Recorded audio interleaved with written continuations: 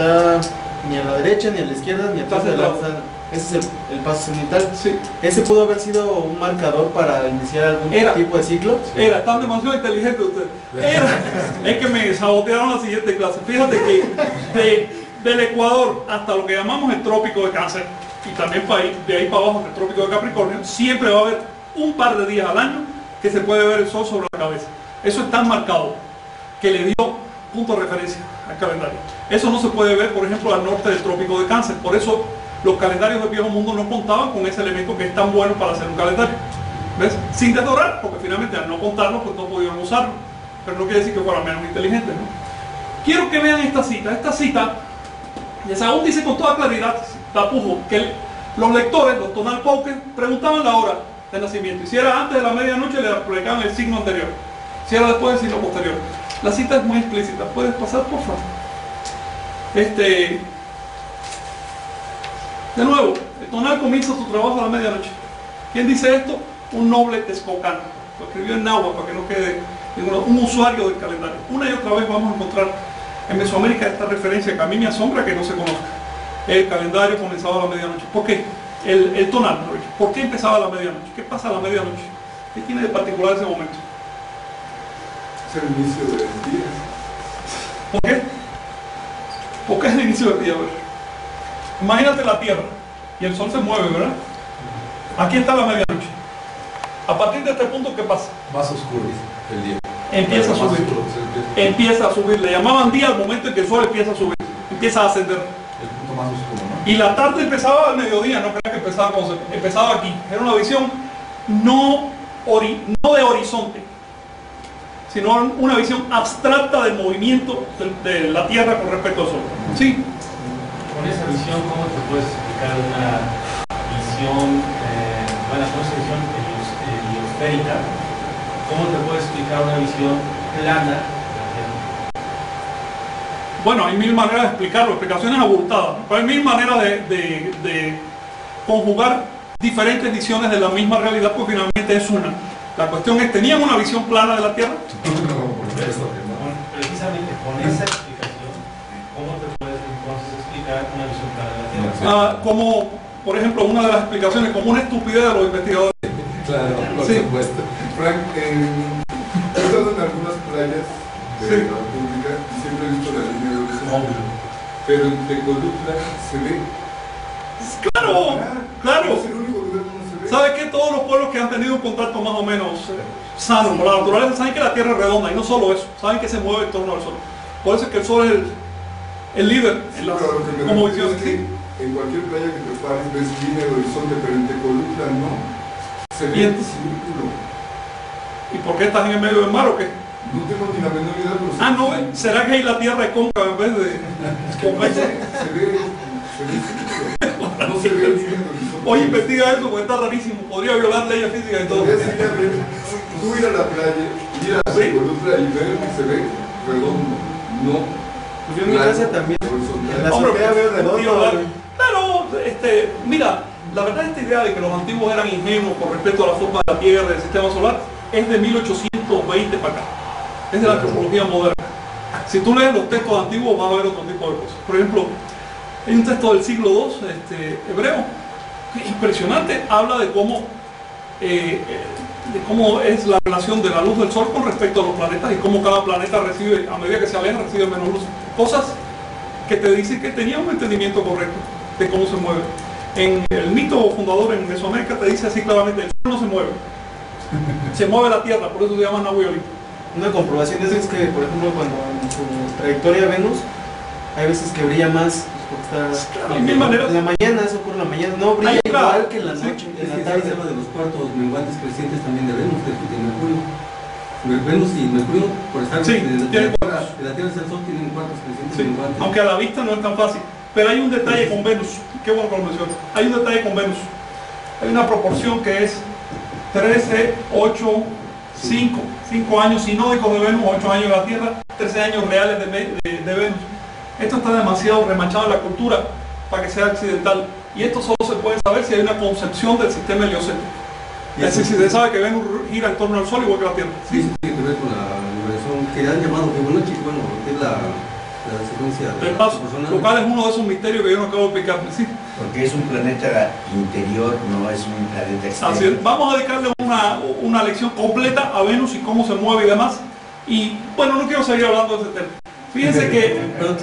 Sí, sí. Cuando se habla de medianoche y de mediodía, no son las 12 del día y las 12 de la, no- de la noche, o sea, vamos, las 0 horas. Estamos hablando de que es una diferencia de 37 minutos.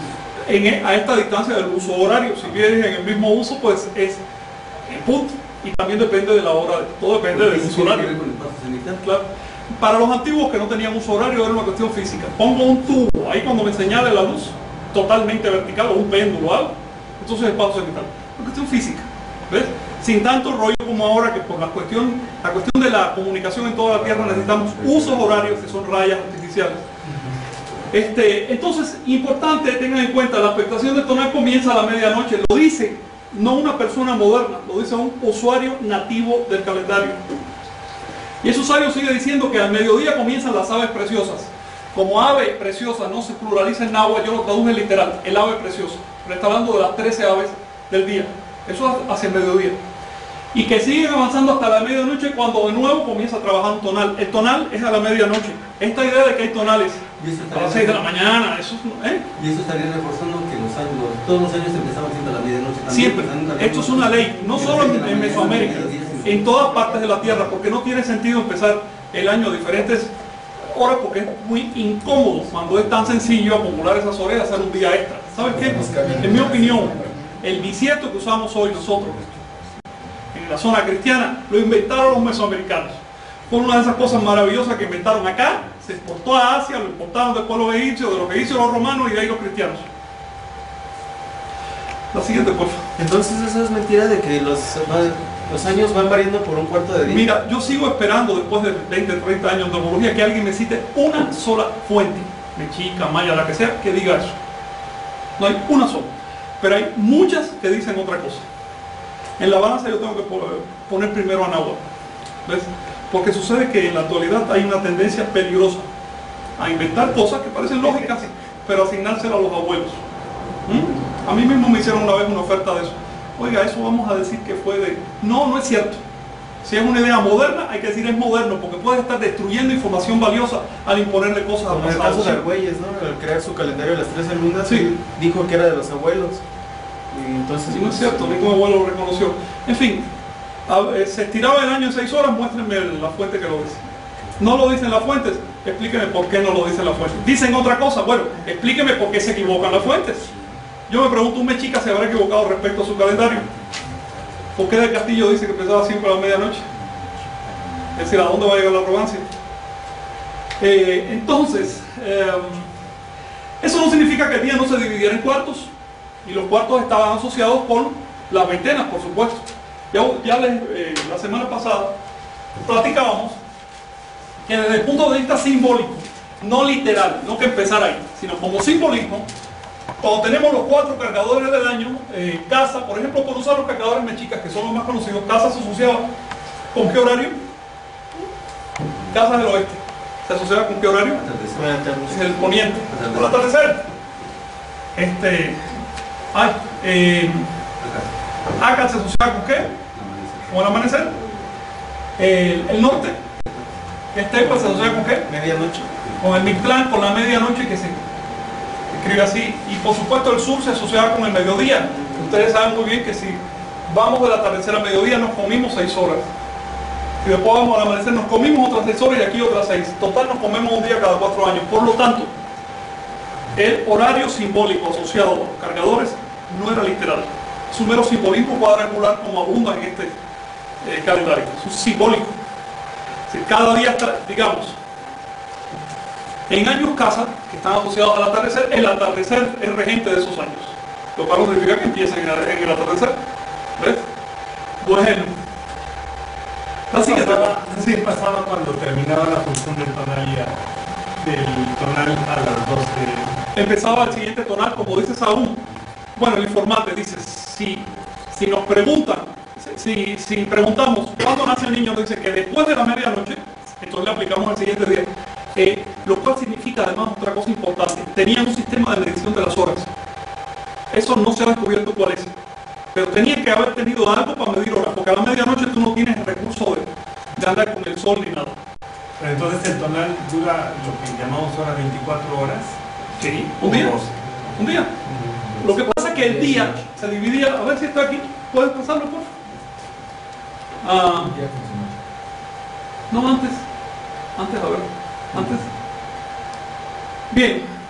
A los anahuacas no les bastó con dividir el día en cuartos simbólicos. También dividieron los cuartos en fragmentos de A5 para, que, para poderlos empatar con la veintena. ¿Dónde sabemos esto? De, bueno, para empezar, Sosi dice claramente que los tlacuilos o los escribas de los mexicas no solo reflejaban la fecha del día, también reflejaban la hora.